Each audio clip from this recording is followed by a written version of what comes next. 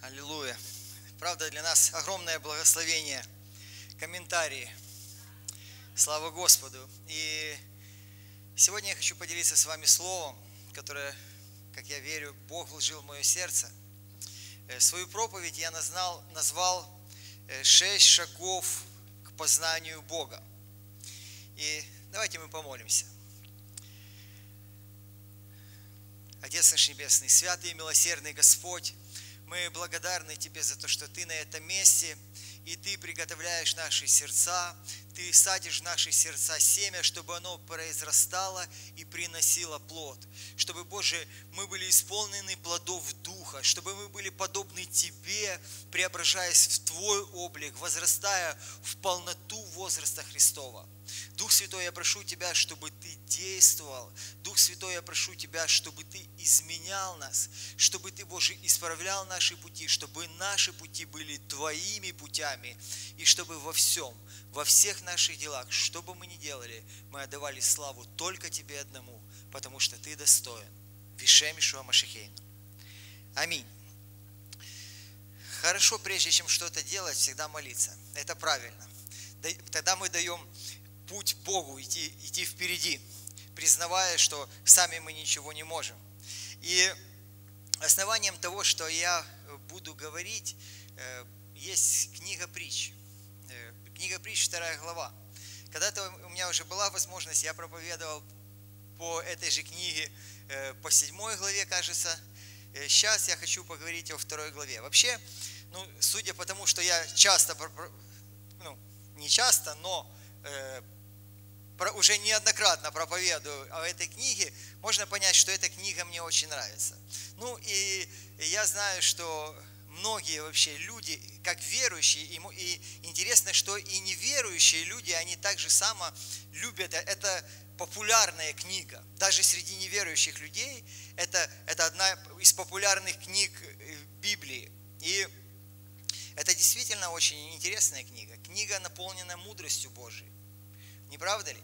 И если мы с вами вспомним, то э, большое количество высказываний, которые сказаны в этой книге, э, это высказывание царя Соломона. Э, царя, который, как мы помним, как говорит нам Писание, при встрече с Богом, он попросил как раз именно мудрости.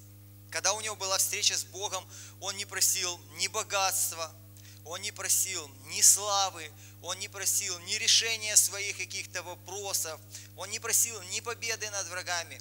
Он попросил, Боже, хочу мудрости и знаний. И Бог, который является как раз-то источником всего, источником этой мудрости, Он ему дал эту мудрость. Мудрость, ради которой люди приходили к нему, вы помните царицу Савскую, которая приходила, чтобы э, увидеть эту Божью мудрость, которая есть в человеке.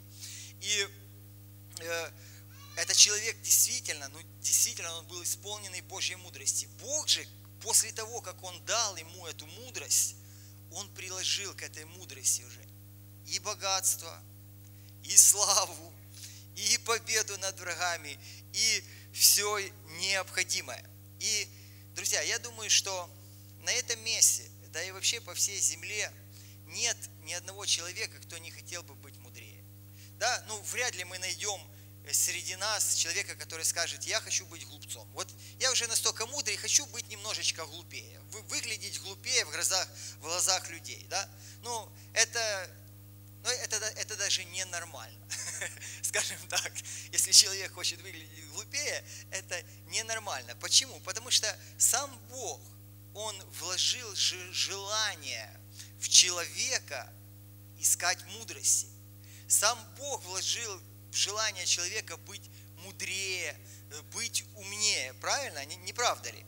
И э, мы знаем, что люди этого мира, они также ищут мудрости. Но какую мудрость они ищут? Они ищут мудрость мира сего. Писание говорит, что есть мудрость Божия, есть мудрость мира сего. Верующие же что, что черпают? Премудрость Божию тайную, сокровенную, которую предназначил Бог прежде веков к славе нашей. Понимаете, есть разница между мудростью века сего и мудростью Божией. И у нас с вами, как детей Божьих, как верующих людей, есть огромная привилегия черпать эту мудрость из источника. И все мы это можем сделать благодаря одному, благодаря жертве Ишуа на Голговском кресте, который как раз для нас и сделался этой премудростью. Я хочу вам прочитать э, одно местописание. Это 1 Коринфянам, 1 э, Коринфянам 26, 1 Коринфянам 1 глава, 26 стих по 31 до конца. Посмотрите, братья, кто вы призванные. Немного из вас мудрых по плоти, немного сильных, немного благородных. Но Бог избрал немудрое, немудрое мира, чтобы посрамить мудрых, и немощное мира избрал Бог, чтобы посрамить сильное. И незнатное мира, и неучиженное, и ничего не значащее избрал Бог, чтобы упразднить значащее.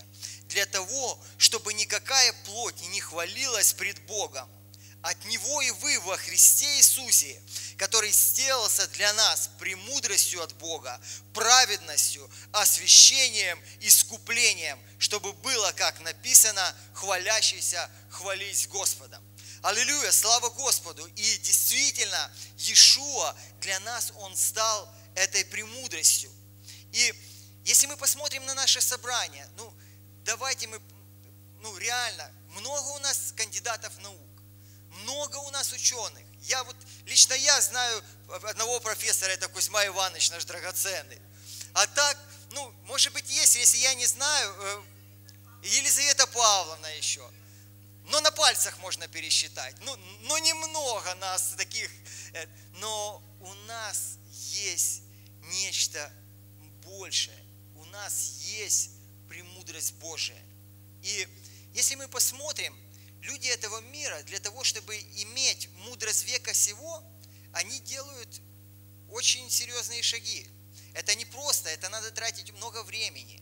Они обращаются, они учатся, обращаются к источникам той мудрости в определенной области, вот, в которой они хотят э, двигаться. Правда, это ведь так? Ведь так мы же с вами, мы можем обращаться к Богу, которым есть источником всего. Бог, будучи Творцом, сотворившим премудростью небеса и все, что нас окружает, Он является источником этой мудрости.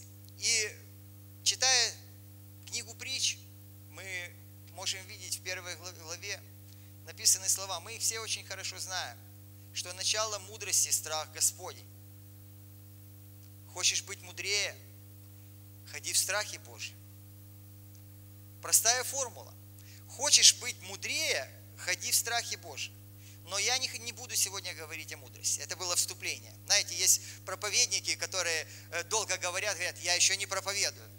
Я, я, я не в осуждении, мне нравится это, я поэтому так же говорю. Я, я еще не проповедую. Хорошо, друзья, э, давайте мы откроем э, книгу притч, вторую главу. Вторую главу с первого стиха. И я вам прочитаю эти стихи, если можно. Э, книга притч, вторая глава с первого по пятый стих.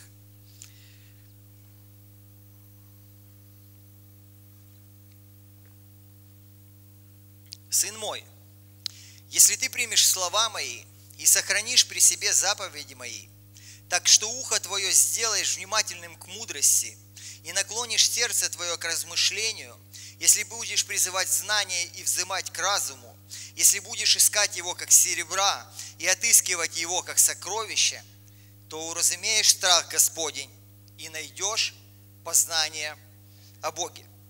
Небольшой отрывок, да? И я скажу за себя. Вот в моей жизни это не самый читаемый отрывок в притчах. Мне, скажу честно, больше нравились такие вот высказывания короткие, лаконичные, э, такой один стих, такой все открывающий, с глубоким значением, там, ну, к примеру, там, благословение Господне, оно обогащает и печали с собой не приносит, ну, такие вот короткие, емкие, там, или лучшее блюдо зелени при нем э, любовь, нежели откормленный бык и при нем ненависть.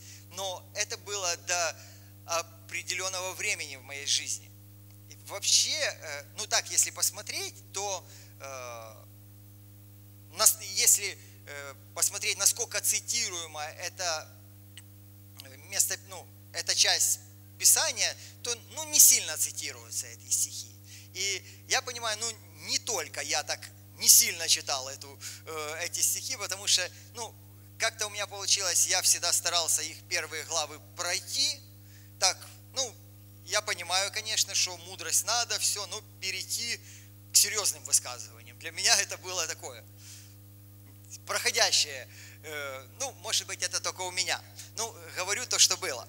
Э, но в определенный момент э, Бог, Он как раз и акцентировал мое внимание на этом отрывке. Вообще Он акцентировал мое внимание на всей главе нету просто времени. Я, мне, в этой главе, вот если мы посмотрим на нее целиком, три, можно три проповеди сказать. Потому что эта глава, она разделена, ее можно разделить на три э, отрывка.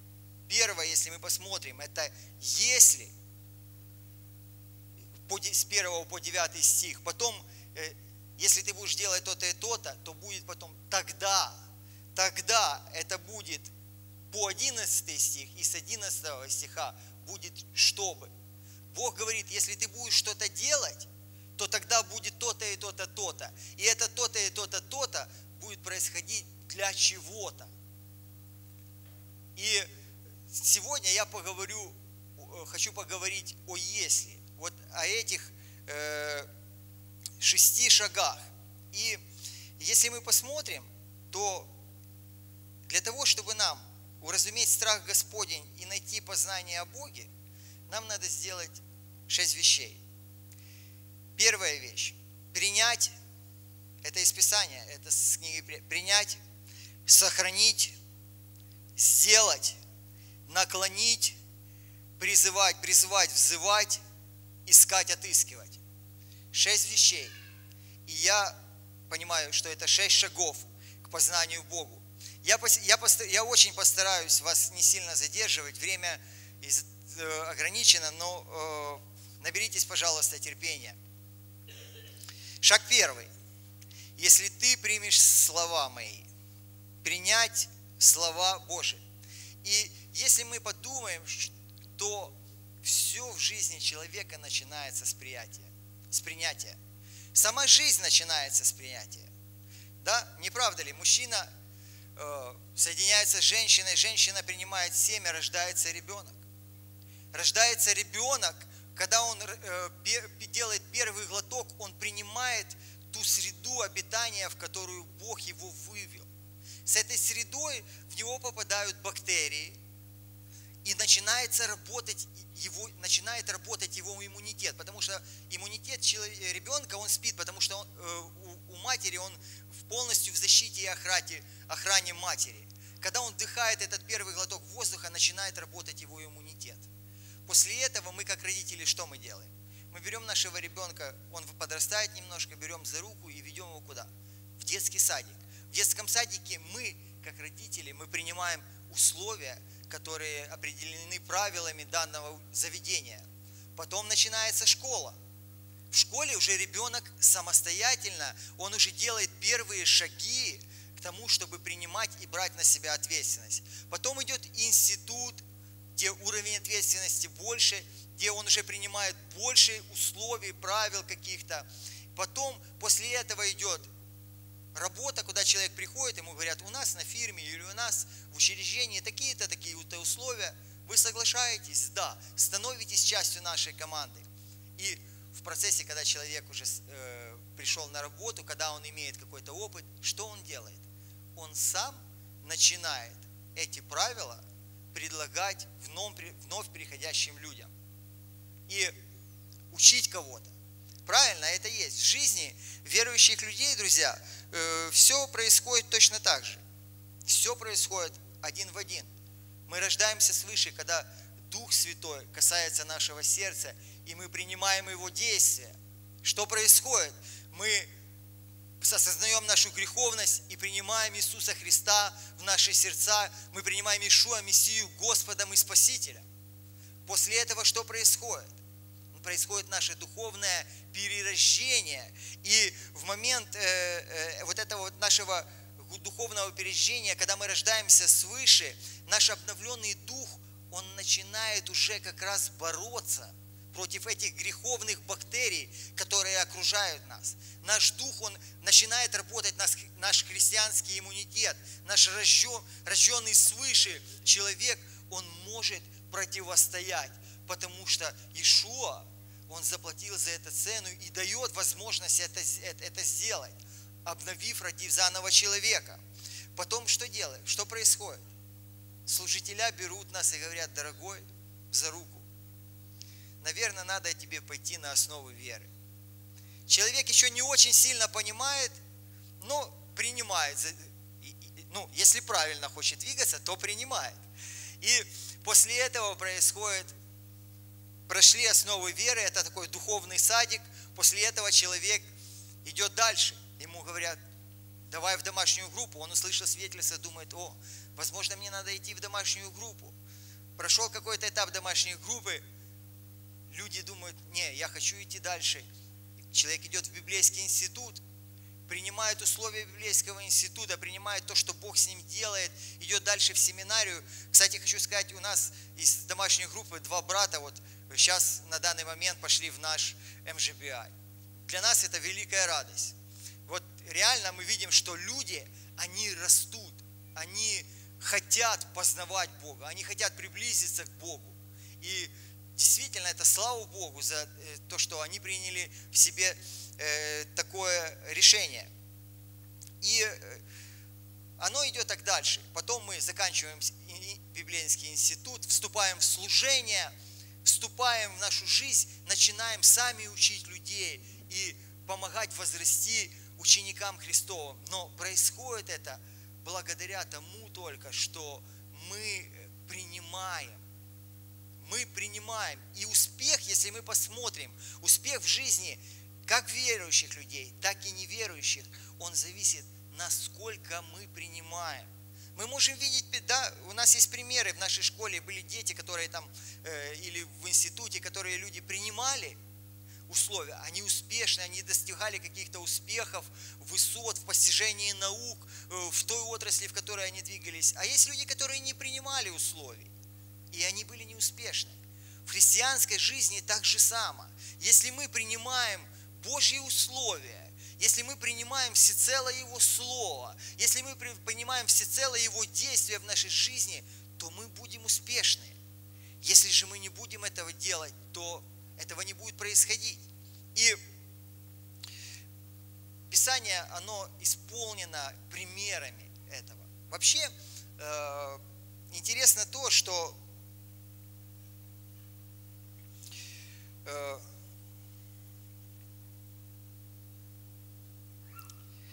я немножко э, пойду с другой стороны. Э, зачастую в нашей жизни происходят моменты того, что мы, говоря в себе, что мы принимаем, на самом деле не принимаем. Вы знаете, я думаю, что все люди проходили, все сидящие, но во всяком случае многие, когда только уверовали, у всех возникал такой вопрос.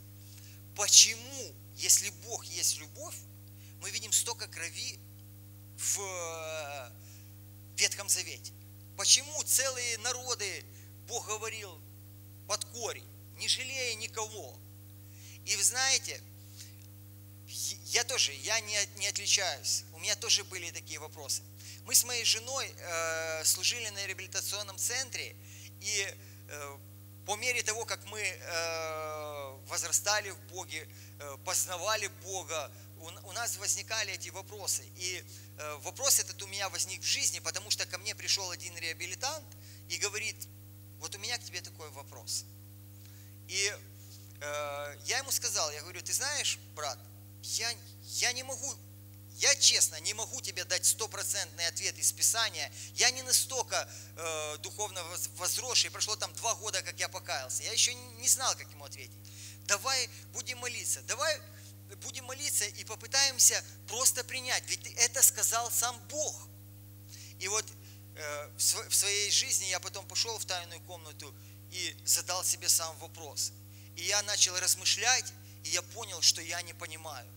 Вот я не понимаю, у меня был вопрос к Богу, почему? Я размышляю, и я не понимаю. Но я сказал себе, говорю, Боже, я не понимаю, я верю, что придет время, когда я пойму, ты, когда ты откроешь мне. И я принял и пошел дальше. Этот брат, к сожалению, он не принял. И он, он, он отошел, он упал. Пару лет назад он приезжал ко мне в колоссальных проблемах, в зависимости. И когда я с ним садился и разговаривал, я понимал, что его проблема от того, что он не принимает. У него была своя концепция на все написанное в Писании. И мы можем с вами, знаете, мы вырастаем духовно, такие вопросы, э, они у нас э, уже открываются, мы их э, познаем все, но бывают ситуации, когда внутри своего сердца мы говорим, Боже, мы принимаем, но. Мы принимаем но. Но когда есть в жизни приставка но, это не есть всецелое принятие. Принимаем, это вообще принимаем. И говорим, да, я не знаю, я не понимаю на данный момент, но ты творец, ты Бог Вседержитель, я принимаю твою волю и власть. И вы знаете, Писание, оно по этому поводу пишет. Я хочу вам прочитать послание к римлянам. 9 глава, 20 стих, 21. А ты кто человек, что споришь с Богом? И зелье скажет ли сделавшему ему, зачем ты меня так сделал? Не властен ли горшечник над глиную, чтобы из той же смеси сделать один сосуд для смеси, для почетного употребления, а другой для низкого?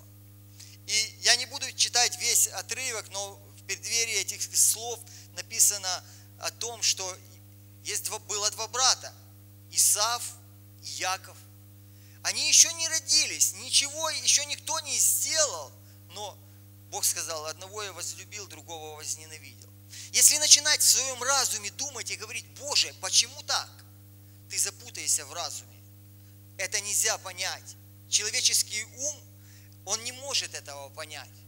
Это можно или принять, или не принять.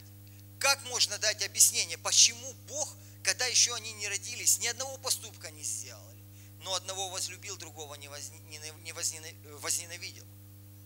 Я советую вам не думать и не размышлять по этому поводу.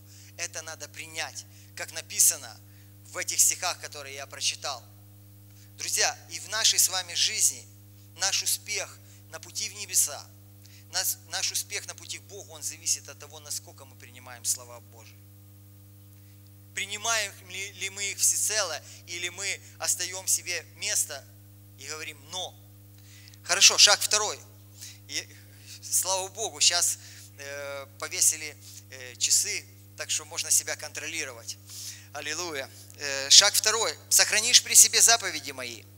Что значит сохранишь при себе. Мне вообще, скажу честно, в этом отрывке очень нравится э, словосочетание «при себе». Сохранишь при себе. Что значит при себе? Это при себе это не Библия, которая лежит у тебя в сумочке, или которая у тебя в портфеле лежит, э, или у тебя в мобильном телефоне.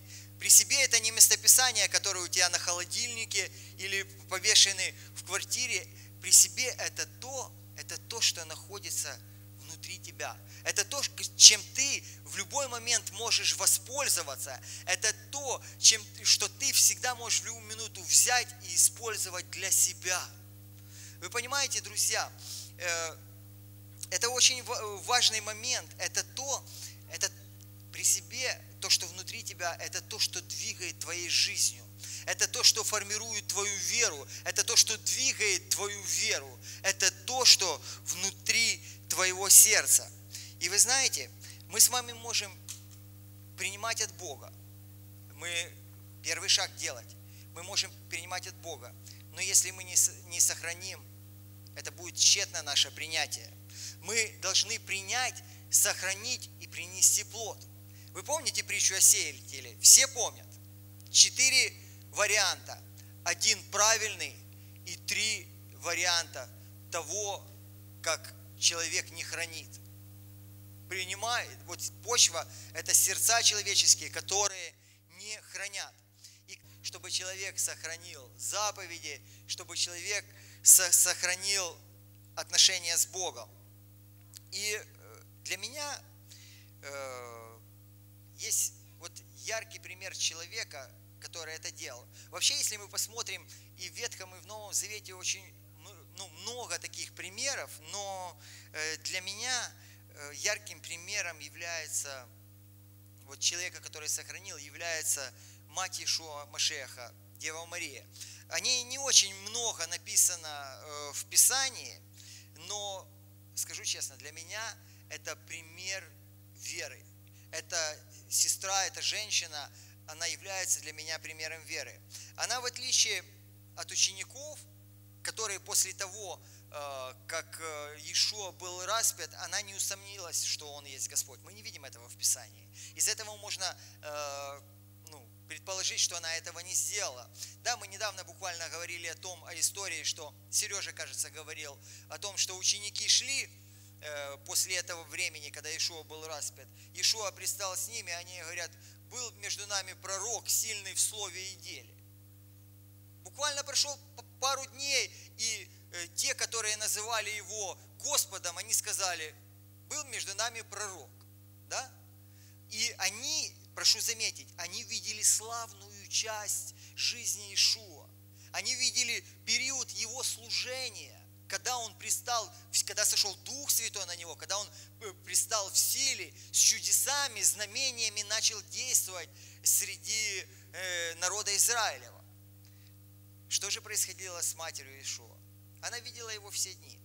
Она видела его, когда он родился, когда он был маленький. И вы знаете, я думаю, что он не родился с Библией в руках и не сидел все свои дни, э, читал Писание, изучая. Нет, он, он рос.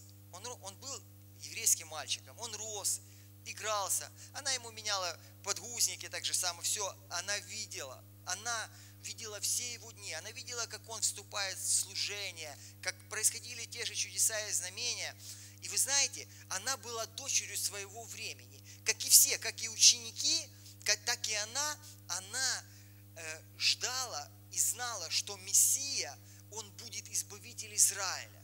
Что вот это вот иго, которая э, римская иго, оно будет свержено. Вот они же представляли, что придет Иешуа, Га, Бах всех победил, воцарился над Израилем, и царство Израиля будет свободным. Она, не, я думаю, что она не отличалась от своих э, соплеменников. Она мыслила так же само. Но она не, потер... она не усомнилась ни на секунду в, в том, что Ишуа есть Мессия. Почему? Потому что она все то, что происходило, слагала в сердце своем. Мы видим в Евангелии от Луки есть несколько местописаний, которые как раз говорят, что э, матерь его, она сохраняла все слова сии в сердце своем. Матерь его, она сохраняла все слова в сердце своем. И мы с вами также должны сохранять слова, которые Бог говорит в наши сердца.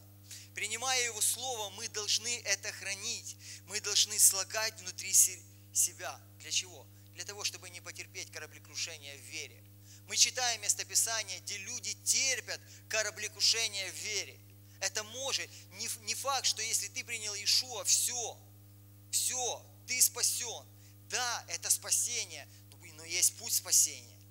И можно пройти этот путь в вере, а можно потерпеть кораблекрушение. Хорошо, друзья, давайте перейдем к третьему шагу. Так что ухо твое сделаешь внимательным к мудрости. Слово сделаешь.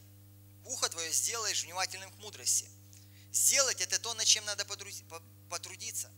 Это то, к чему надо приложить усилия. Само значение этого слова, оно несет активное действие. Это не пассивное ожидание, это сделаешь, это проявишь какую-то а, активность. И возникает сразу вопрос, как же нам быть внимательным к мудрости? Вот практически, как это сделать? Ответ очень прост. Творец, Он сотворил нас с людьми э, со свободой выбора. У нас с вами свободная воля, и мы можем выбирать то, что мы хотим. Мы можем выбирать, что, что, что сделать, а что не сделать. Э, мы можем выбрать, делать ли наше ухо внимательным или не делать. Не правда ли? Это, это в нашей власти. Мы можем делать внимательным, можем не делать. И когда мы включаем проповедь, когда мы приходим на собрание слушать э, Слово Божие, что мы? Мы можем слушать, а сами делать покупки в Таврии В. Да? Ну, это реально. Мы можем, э, включил проповедь, а сам идешь по Дерибасовской гуляешь или по Приморскому бульвару. Такое бывает. Зачастую мысли наши, они э, улетают. Но когда мы садимся, когда мы приходим в собрание ожидание, с ожиданием того, что Бог сегодня, Он будет давать нам духовную пищу, с ожиданием того, что Бог будет сегодня работать в нашем сердце, тогда мы с благодарностью принимаем Его действия. Мы делаем наше ухо внимательным к слушанию. И вы знаете, я не исключаю, что когда мы будем делать наше ухо внимательным, наши мысли будут отвлекаться. Но мы имеем возможность остановиться и сказать, нет, я буду это делать. Я приложу усилия, и я буду это делать. И поверьте мне, что придет время, определенный период времени, и эти моменты посещения посторонних мыслей, они будут все меньше и меньше тебя одолевать. Ты будешь, ты сделаешь свое ухо внимательным к мудрости. И э, важно еще один момент. Вот в изучении, даже в изучении Писания, даже в отношении того, что мы приходим на собрание, мы приходим не для Бога, не для галочки. Мы не читаем, потому что нам надо почитать. Мы не, не читаем, потому что я хочу прочитать Библию за год или там за полгода, я такой молодец. Нет, лучше почитать одну главу в день. Лучше не слушать 20 проповедей, и потом у тебя каша в голове, ты не понимаешь, думаешь, что же Бог мне хотел сказать. Послушай одну проповедь, почитай одну главу. Не можешь одну главу, прочитай 10, 10 стихов, но размышляй о том, что Бог говорит думай о том, что Бог говорит, наклоняй свое ухо к мудрости, и тогда ты увидишь плод в своей жизни. Эти 10 стихов, они принесут больше плод, чем э, 5 проповедей, которые пролетели мимо тебя, потому что ты был в это время на Дерибасовской. Мы должны сделать свое ухо внимательным, мы должны размышлять. Вы помните первый псалом, блажен муж, да, Помните, если будешь размышлять о законе его день и ночь, то будешь как дерево, посаженное при потоках вод. Если будешь размышлять, если будешь наклонять свое сердце к мудрости. Аллилуйя. Шаг четвертый. Наклонишь сердце твое к размышлению. Мне очень нравится этот стих. Наклонишь сердце свое размышлению. Наклонишь свое сердце. Вы знаете, я думаю, что это сфера наших отношений с Богом. Это сфера нашего духовного состояния. Это э, состояние, которого никто не видит. Это состояние знает только ты и Бог. Знаете, можно, э, опять же, делать вид глубокого поклонения, поклоняться непонятно кому. Это можно, человек может.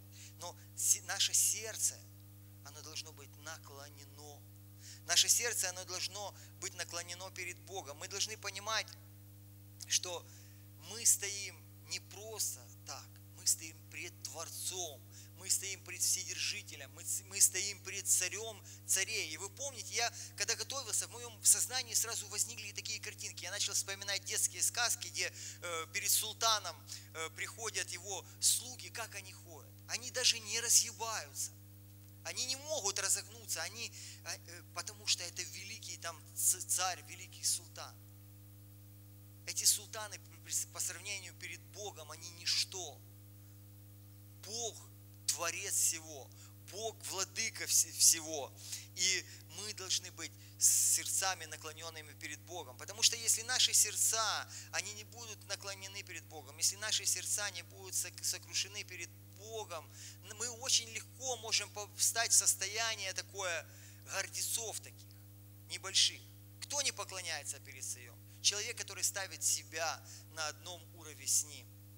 Если ты понимаешь величие Божие, то ты будешь всегда преклонять свое сердце перед Богом. Ты будешь всегда наклонять свое сердце к Нему. Понимаете? Друзья, и если этого не делать, Бог гордым противится. Бог гордым противится. Ты становишься противником Бога, потому что ты ставишь себя на один уровень с Ним. И Бог, будучи Творцом всего мироздания, Бог, Бог будучи э, владыкой неба и земли, Он ожидает от нас с вами, э, как от своего творения, чтобы мы к Нему поклонялись, чтобы мы были искателями Бога, чтобы мы были поклонниками Бога. И во все времена и сроки в Писании, во все времена и сроки мы видим всевозможные формы поклонения Богу. Да? Мы видим, что люди поклоняются Богу. Но э, в Евангелии э, от Иоанна написано в 4 главе 23-24 стих, вы все его хорошо знаете. Но настанет время и настало уже, когда истинные поклонники будут поклоняться Отцу в духе истины, ибо таких поклонников Отец ищет себе. Бог есть Дух, и поклоняющиеся Ему должны поклоняться в Духе истины. И то, что происходит сейчас на земле, это всего лишь небольшая репетиция того, что будет происходить потом в вечности в небесах. Вы знаете, там будет 24-часовое поклонение. И я уверен, там не будет ни одного несокрушенного сердца. Туда не пройдет несокрушенное сердце туда не зайдешь с сердцем вот таким вот. Туда можно будет пройти только с наклоненным сердцем. Если твое сердце будет не наклонено, ты не сможешь туда пройти. И вот этот вот шаг, он нас приводит к пятому шагу. Если будешь призывать знания и взывать к разуму. И интересно то, что да, корнем слова призывать есть слово «звать». И я э, отношу вот этот вот стих к сфере нашей молитвенной жизни. И знаете, друзья, мы можем с вами делать правильные вещи. Мы можем с вами изучать Писание. Мы можем с вами слушать много проповедей. Мы можем с вами ходить э, в библейский институт, в духовную семинарию. Но если у нас с вами не будет личных взаимоотношений с Богом, если мы не будем приходить к Творцу, иметь общение с Ним, то мы будем э, ну, страдать, и мы, э, я, я думаю даже, что э, мы не получим полного познания о Боге, мы не познаем Творца, потому что Писание, это Слово Божие, Писание это есть сам Бог, но если мы посмотрим ситуации, даже которые описаны в Писании, они имеют всевозможные грани. И в той или иной ситуации э, есть несколько мест Писаний, которые можно которые будут брать одну сторону или другую. Но только отношения с Богом, они помогут тебе направиться в нужном направлении и, и двигаться в нужном направлении. И мы с вами, будучи детьми Божьими, должны иметь э, э, вот такие вот близкие отношения э, с нашим Богом. И сам Господь Ишуа, Он показал нам то, что Он имел это, эти отношения. Вы помните, да? Не правда ли, что после своих служений, после великих чудес, после великих знамений, которые Бог производил через Него, которые Ишуа творил, что Он делал? Он бежал молиться. Он бежал к Богу. Он бежал на гору для того, чтобы иметь эти отношения, э, близкие отношения с Богом. Э, и он показал нам с вами этот путь. Но, в принципе, можно сказать, дорогой брат, мы, мы, мы все это прекрасно понимаем. Уже как бы, ну, здесь, я не знаю, может быть, есть вообще здесь неверующие люди? Те, кто не приняли Иешуа в свое сердце на данный момент. Видите, тут все, все верующие и все об этом знают, что надо молиться. Ну, как бы это первое, что говорится, что надо молиться, надо иметь отношения с Богом. Да? Э, но хочу акцентировать э, внимание на том, э, что я вот связываю это местописание о нашей молитвенной жизни в момент, когда мы изучаем Писание, когда мы приходим для того, чтобы получить какую-то духовную пищу. Потому что, если мы вспомним, мы, мы э, эти примеры имеем в Библии. Э, помните местописание э, послания Ефесянам, 1 глава, 15 стих. Если можно, пожалуйста, Ефесянам 1 глава, 15 и 16 стих. Да? Так.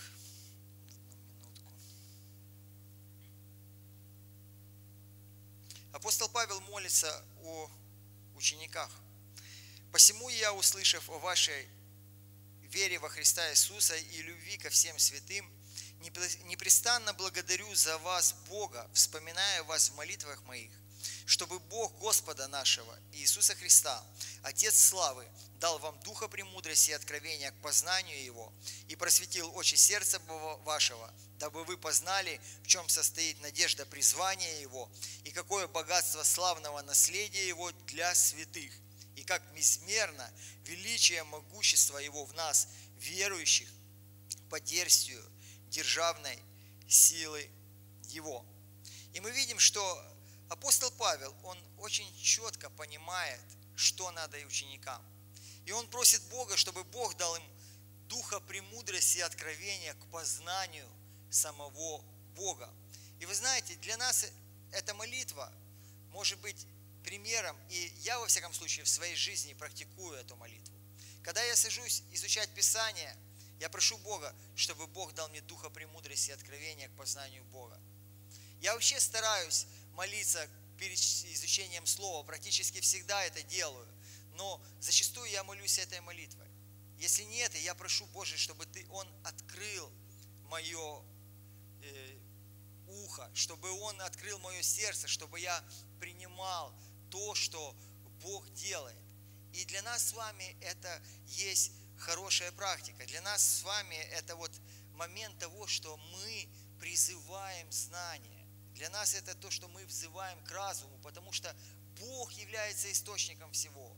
Мы не можем получить знания, мы не можем без Бога получить ничего. И как дети мы приходим к своему Творцу и просим, Боже, я взываю Тебе, дай мне понять то, что Ты говоришь. Вложи в меня то, что Ты делаешь или будешь делать сегодня в собрании. Я не хочу просто прийти, просидеть два часа, сделать вид, что я хороший, правильный, верующий, хожу в шаббат, хожу на молитвенное служение, даже на домашнюю группу хожу.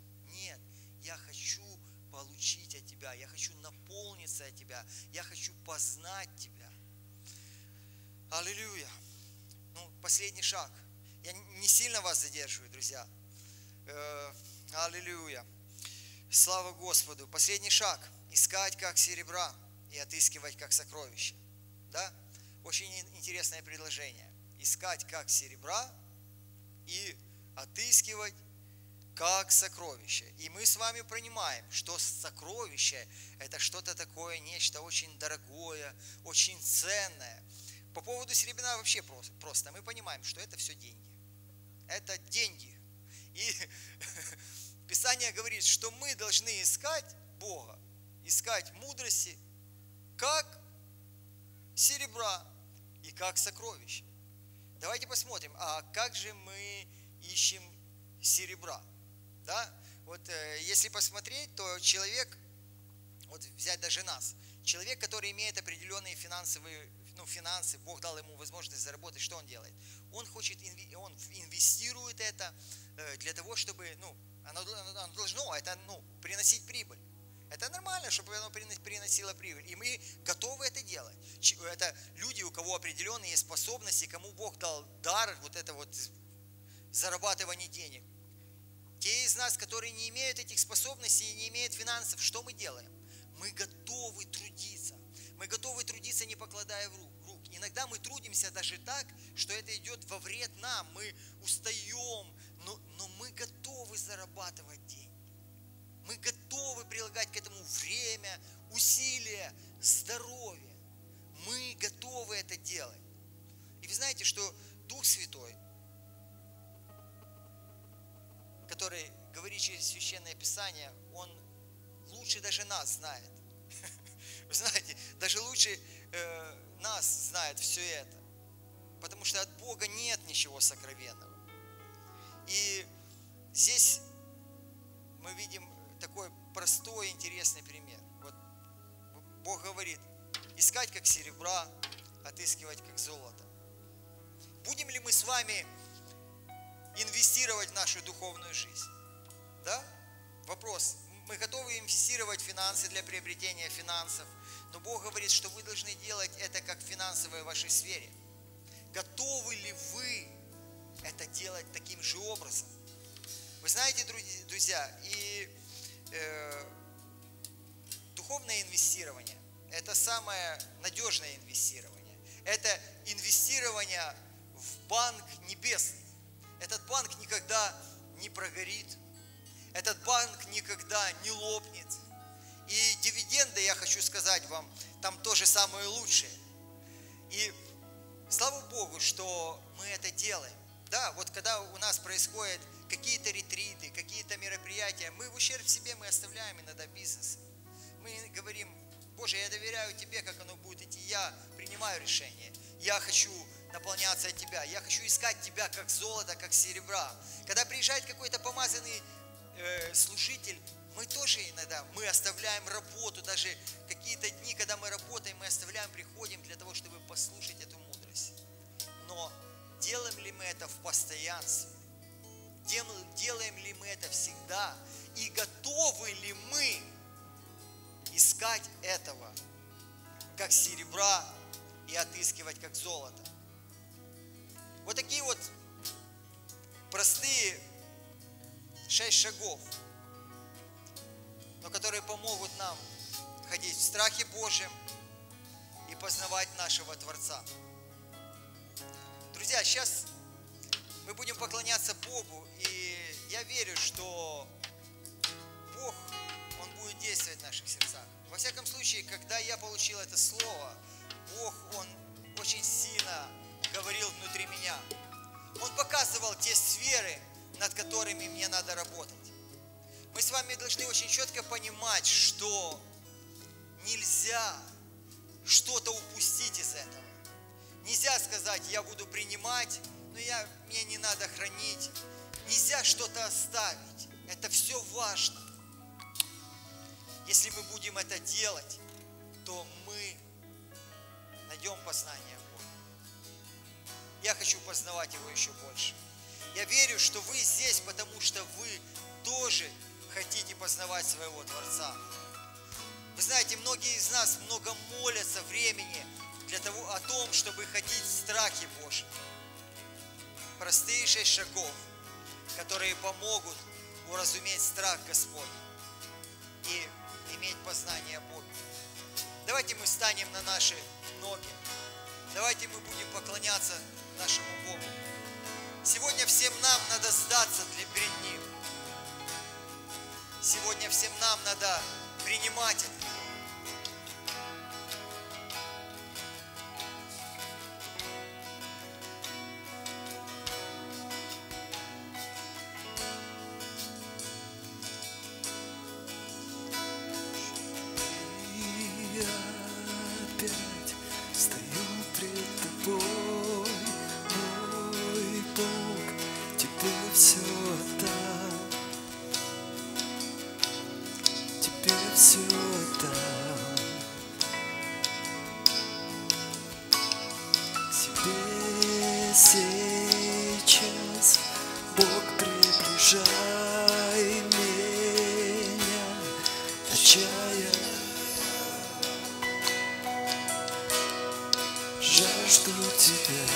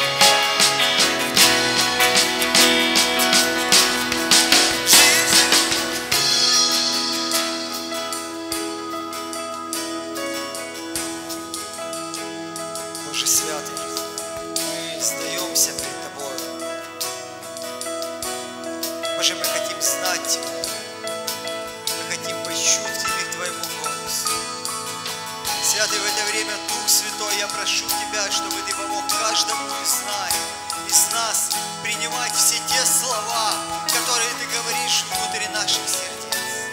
Святый, я прошу Тебя, чтобы Твой Дух помог нам сохранять эти слова, Господь. Боже, помоги нам сделать внимательными наши уши к Твоему Слову. Боже, помоги нам призывать к разуму,